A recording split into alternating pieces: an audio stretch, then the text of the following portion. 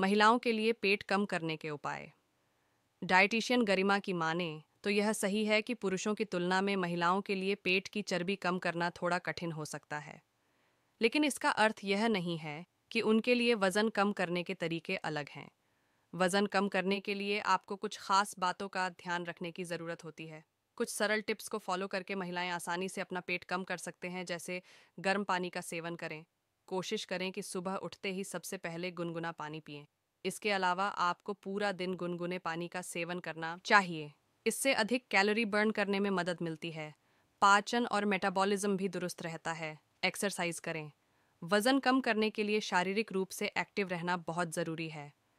आप जिम जाकर एक्सरसाइज करें। योग का अभ्यास करें या 30-40 मिनट पैदल चलें। सुनिश्चित करें कि एक्सरसाइज ज़रूर करें।